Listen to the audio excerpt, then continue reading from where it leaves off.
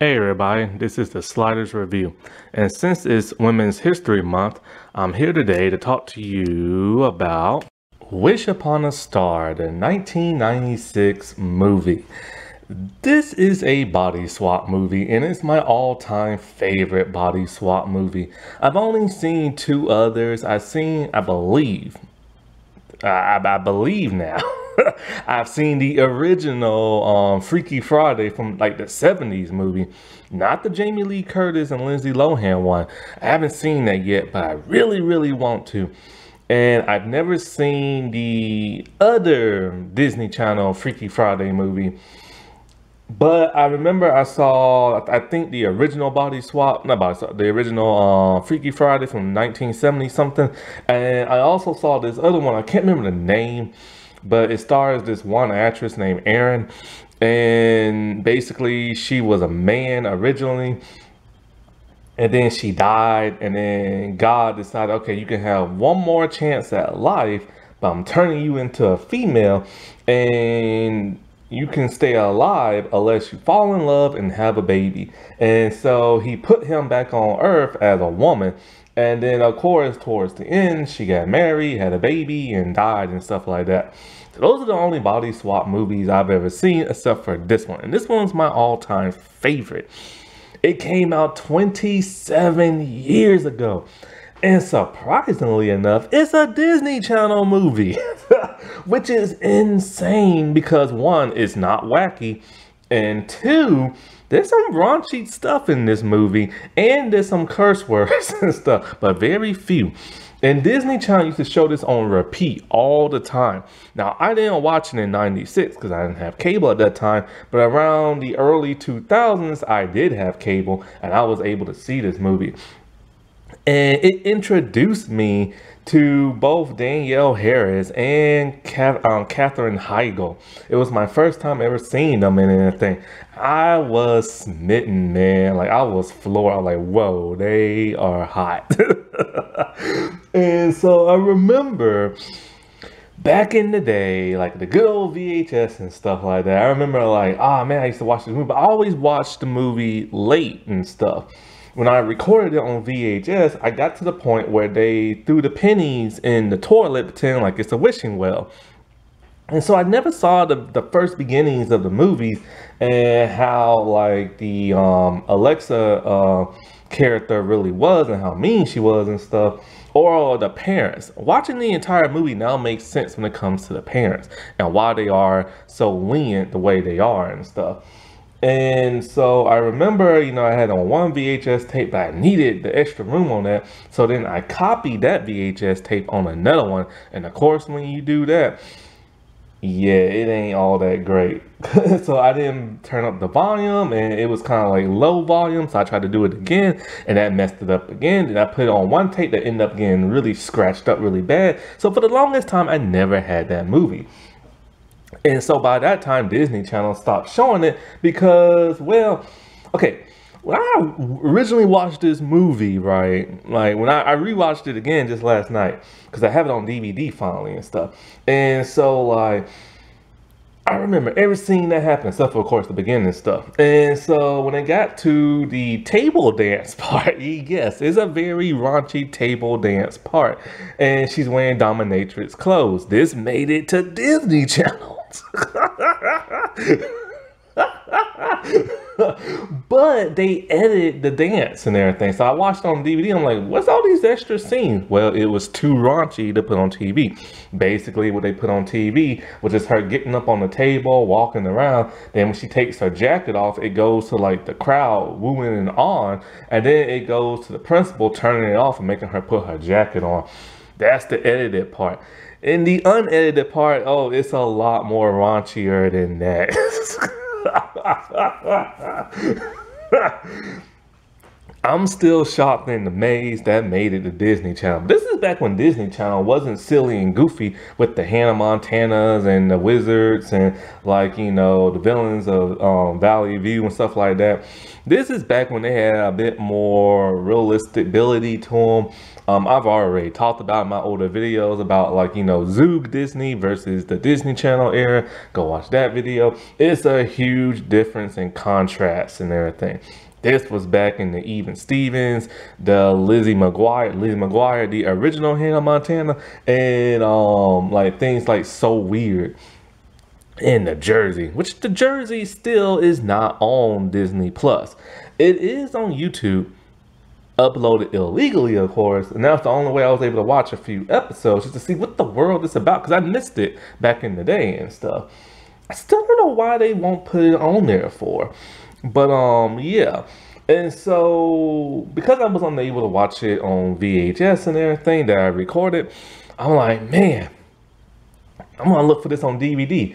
Well, there's a problem because it's Disney Channel and Disney Channel really doesn't like putting the stuff on DVD. All the copies were sold out. Yes, and for the longest time, and I do mean the longest time, they were sold out and I was unable to ever get my hands on like a copy. Then they had some used ones, but I didn't want that. And then the vultures put it up for like 50 something dollars on certain websites. I ain't no way I'm gonna get that. But then Disney Channel had a change of heart and they re-put it back out on DVD. And I was able to get it for a much cheaper price. And I've been so happy ever since all those years ago.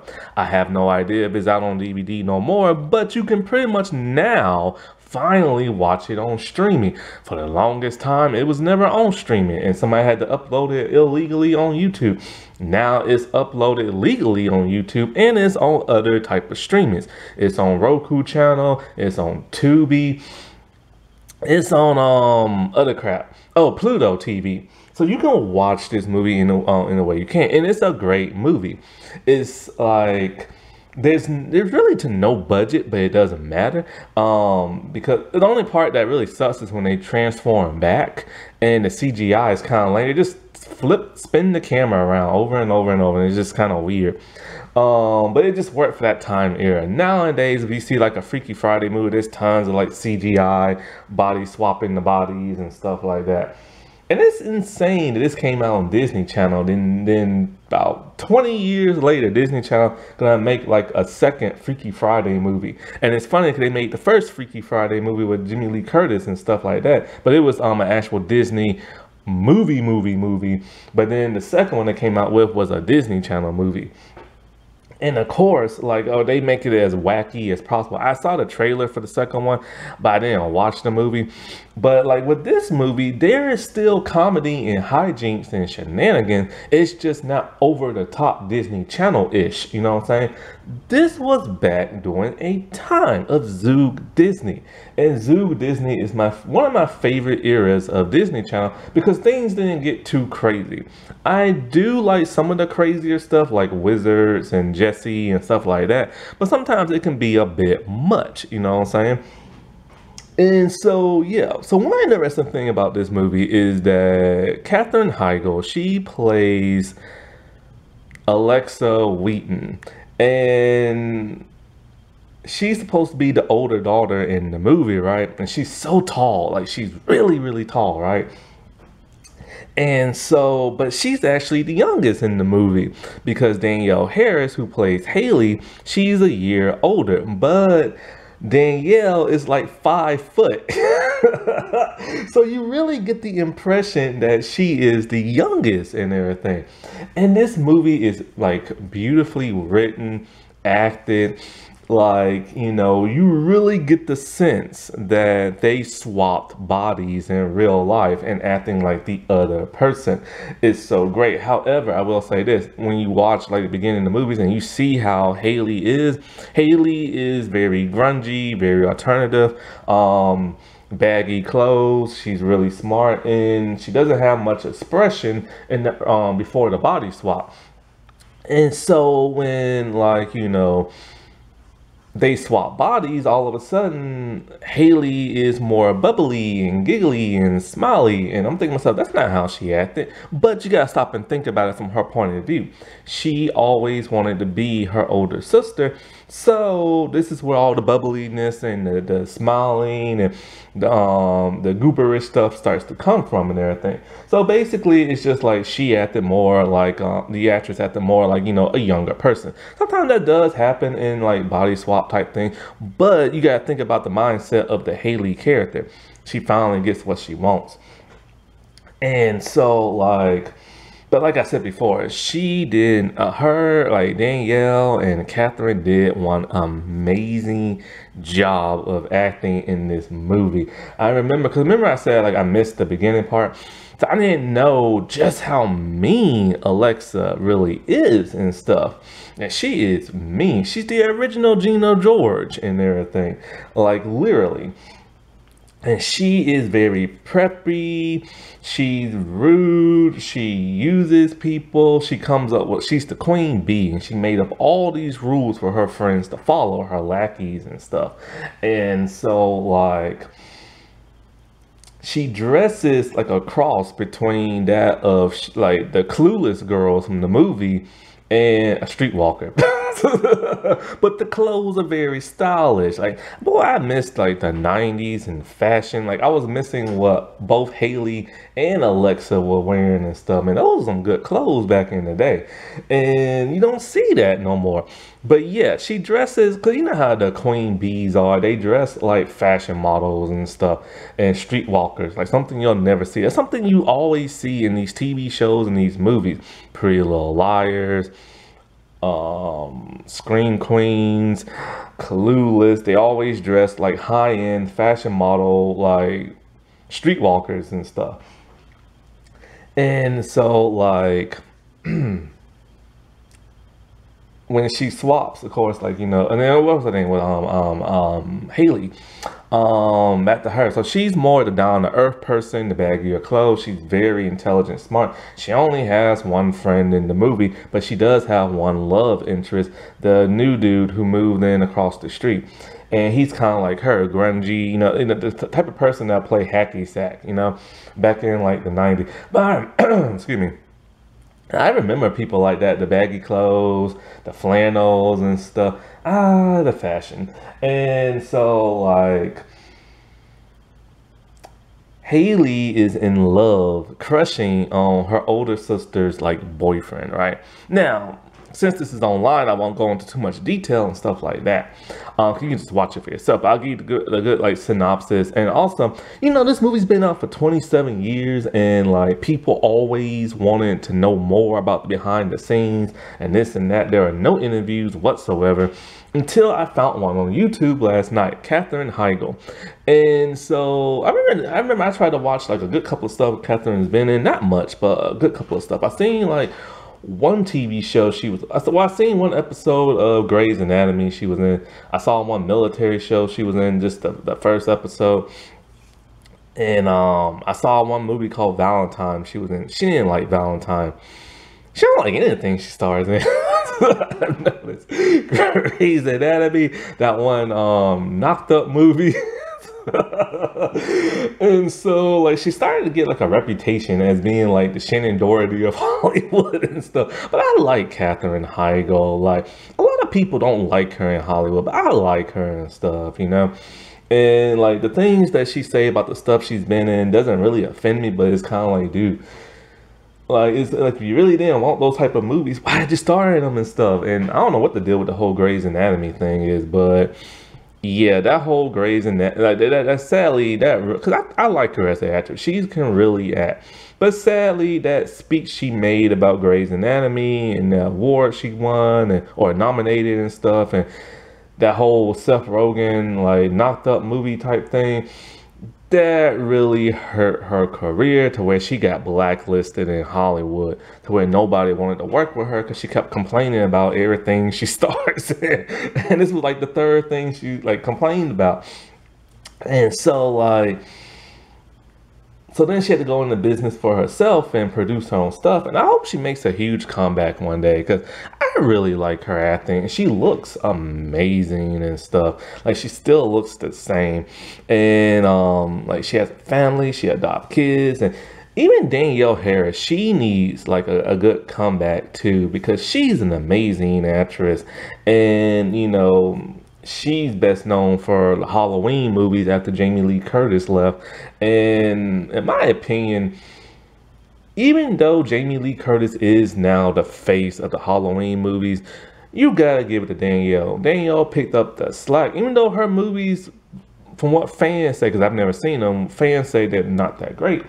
Um, she put up the slack, you know what I'm saying? And she was the face of the movies when Jamie left, and then Jamie all of a sudden came back when her Hollywood status started to fade away, and then she became the face of it, and she was, and then Danielle was never asked to come back to like that of the Halloween franchise, except for the Rob Zombie ones. And so she's been wanting to come back. Fans have wanted her to come back. But now her movies seem to be completely different canon. They're no longer canon to the actual storyline and stuff. And that's quite a shame because she picked up the slack and when somebody else didn't want to come back. And she's a really good actress and stuff. And she looks great and amazing. And, you know, so it kind of sucks that um, I don't never really hear nothing from her no more and stuff. And I remember when I talk about like the interviews of this movie, I found one on YouTube last night. I'm thinking, great, I'm gonna get to hear all this amazing stuff about like the movie and this and that. No, it was just Katherine complaining. well, first she mentioned how like the movie was filmed in Utah and now she lives in Utah and how she was 17 when she did the movie and it was her first movie she ever did. And she did a great job for her first movie.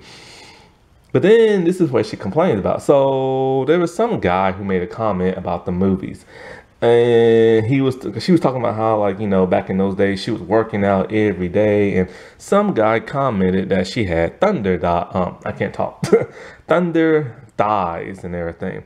I know the scene he's talking about is the locker room scene when she body swapped and then she's putting on her uniform and she doesn't dress all that revealing but of course alexa does. And so like her and you see like a lot of her thighs which look amazing by the way.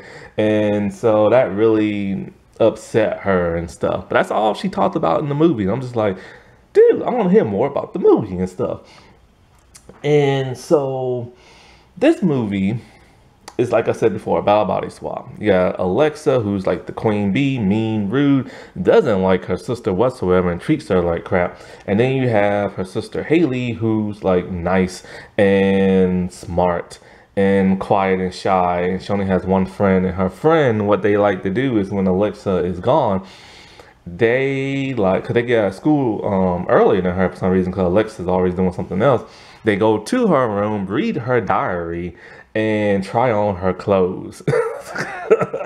oh, and listen to her music and stuff. They had different tastes in music. One likes more grunge, the other one likes more pop and rock. And so like they, you know, they, you know, that's what teens do. You know, they go through their older like sibling stuff. You know what I'm saying?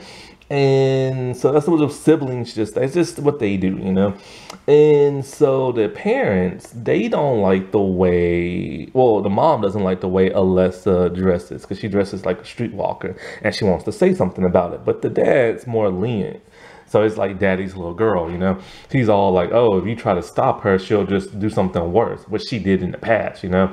So this is why they have such a lenient personality throughout the entire movie whenever their kids are expressing themselves and dressing like hookers and stuff when they're trying to get back and revenge and everything and so like I always wondered that part you know and so one thing about like Alexa is all her rules is like, you know, they can't bring sandwiches to lunch. They have to eat like, you know, fruit and vegetables. They have to drink soda. And not only that, but they can only date a guy for three months and then they have to break up with them because they have to spread their possibilities out and all kind of other dumb queen bee type rules and stuff like that, right? And she's the one who made them all up.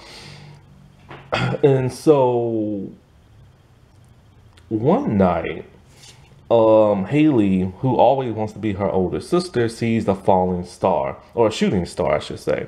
And so, like, she makes a wish when she sees Haley and her boyfriend jacuzzi. And that wish is to be her sister. So of course, when they wake up, it's beautifully executed. They wake up, they don't look at they, they don't look at their alarm. They just take their hand and like touch it, but they should know it's in a different spot and it feels different. So you know, Alexa, who's now in Haley's body, she, you know, she walk into the bathroom and stumbling, not really looking like, you know, where she's going. And then she looks in the mirror and the shock of her life happens. And then here comes her sister. and she is flabbergasted. Oh, by the way, Haley is actually very clumsy and stuff like that. And so, like, Oh, I gotta give it up to the old early Disney days. These always make people fall down, like Hilary Duff and Lizzie McGuire, always slipping and sliding. So, anyway, so she is flabbergasted and she doesn't want to be in her sister's body. She hates that idea and she wants her life back in her body. And when I say this movie is raunchy and they say all kind of stuff, they use a curse word. She's talking about you might have my body, my legs, my breasts. I'm like, what? You said that on Disney Channel? and so like, so they try to find. Well, she tries to find ways to switch them back. She gets like a birthday cake that don't work. She throws pennies in the toilet and be like, it's a wishing well. and that don't work. So of course they have to assume the other person's identity. And this is where all the hijinks come from, you know, wearing different clothes, trying to walk in heels. Haley cannot drive, and her sister has a Jeep um, that's a stick shift and everything. So it makes for some very awkward times. But of course, um, Alexa's all like, "You can't drive. You don't have a license." She's like, well, "You can't reach the um." the pedals and everything. So next thing you know, they're playing around, and so Alexa has to drive as Haley's body, and this pisses off the principal because she's two years younger than Haley. Now, Alexa even though she's not book smart, she's street smart, like she dresses like a streetwalker, but when she wants to suck up to like the principal, she brings in like a suit attire because she wants to get into college, what she has to. And so she's trying to suck up to the principal, trying to get some like recommendations, stuff like that. And also she wants to be prom queen and everything. And so like now that they swap bodies, you know, Haley, she wants to win the science fair and stuff. And so they, when they get pissed at each other, this is where all the hijinks come in in the revenge stuff. So like, you know, what is it? Haley will dress like, you know, in the same clothes um, that she wore the other day at school. And like her clothes are like just all like her shirts um not tucked in, her socks like one's up, one down, like all kind of crazy stuff, right? And so like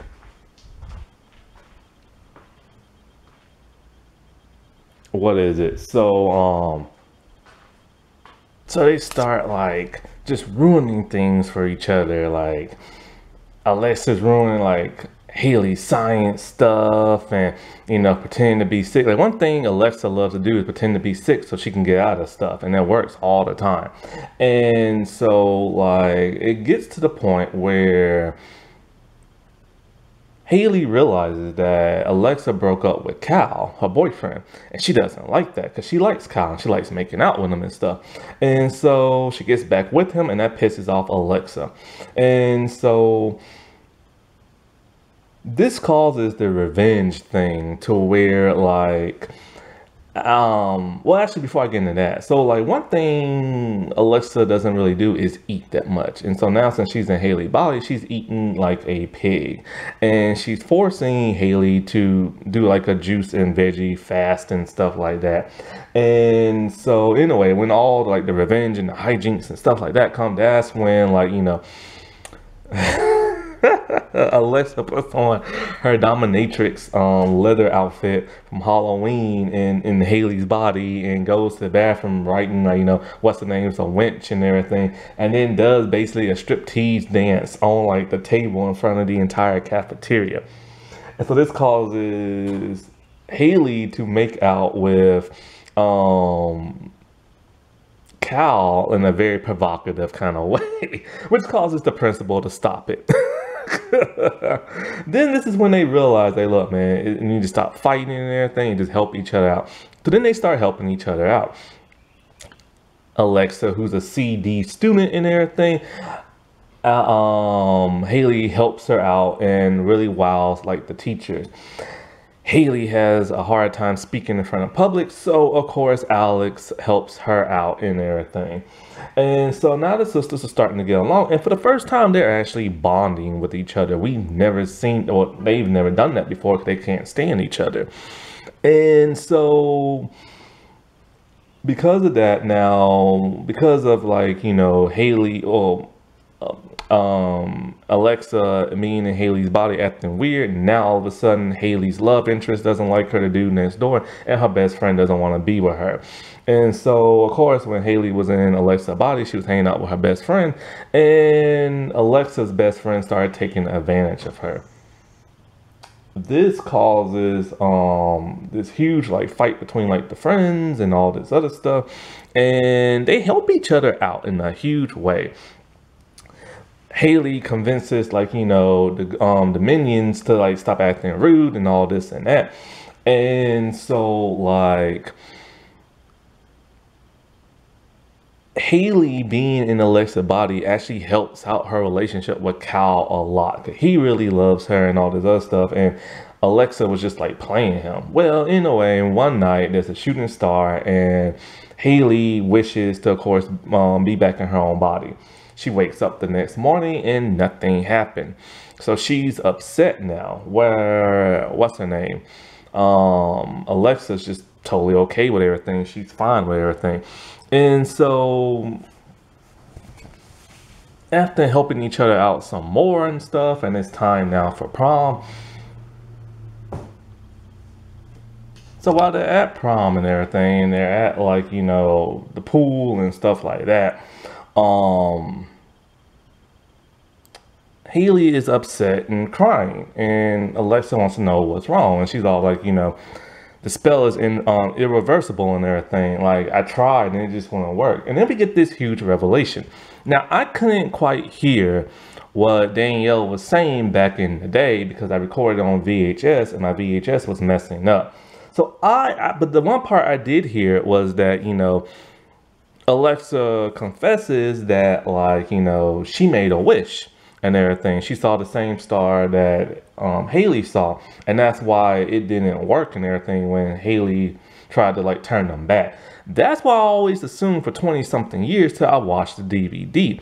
See, because of the VHS, I couldn't hear quite what she was saying.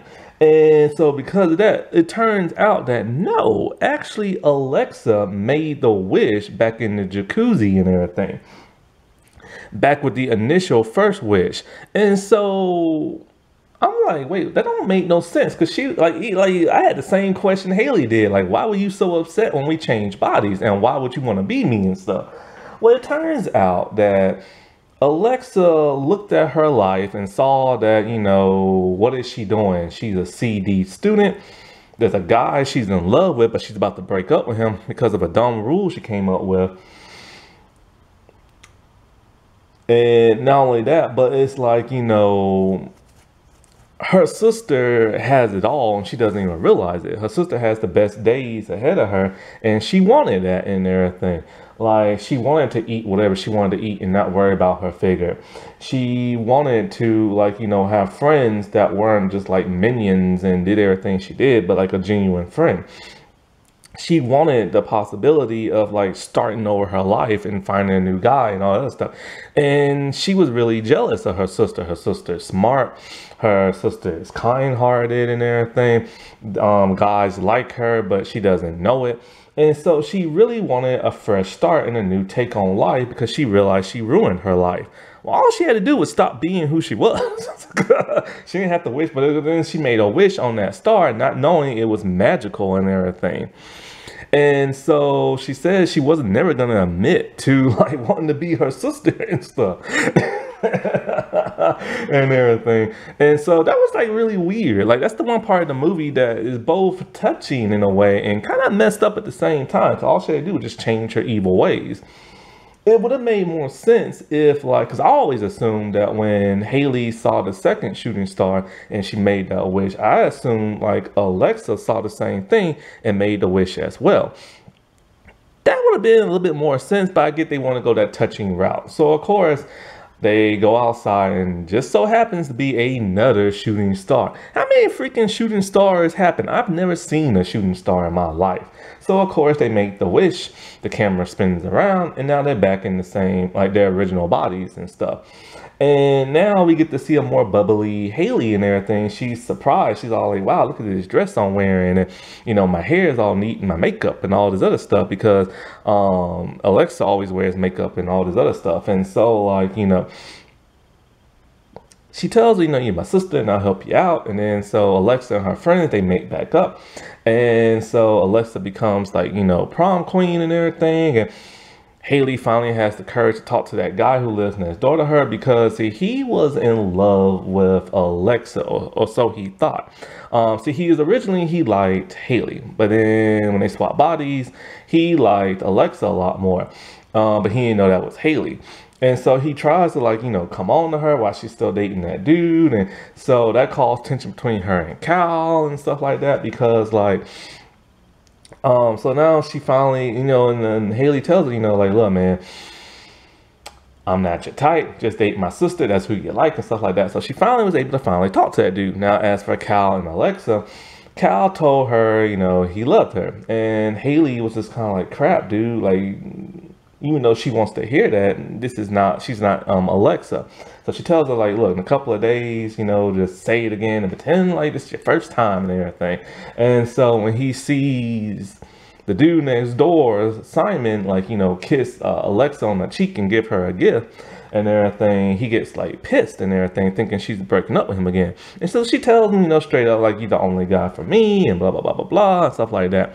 And it ends with both sisters just looking at each other and being happy with their guy in their arms. And, you know, and it was just like a nice, touching ending. You know, they, they get their happy ending, what they want. They got to experience the other person's life and realize that yeah sometimes the other side is greener and sometimes it's not. And that's one cool lesson that you learn in this movie is that hayley so badly wanted to be her sister but realized the grass is not greener on the other side. But alexa realized the grass is greener on the other side and stuff like that.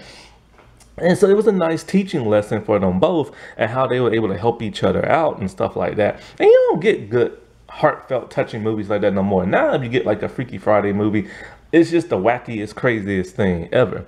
Now, there is a band in this movie, and they're called Moonpool Centipede. I've never heard of them, but they play their music all throughout the movie, and they actually perform at the um at the um prom. I don't know if they're still together. I've never even heard of them till this day, but they do have a music video out. Now on the DVD, there's not much features. There's only the commentary from like the director and stuff, and that's it. The movie doesn't even have a select um, scenes part, so you have to like keep like fast forward or like skipping through and stuff like that. It's a basic DVD because Disney just didn't put no effort into it. And I wish it would come back out with new commentary because I really want to hear from the main actresses what it was like making from like you know this movie and stuff.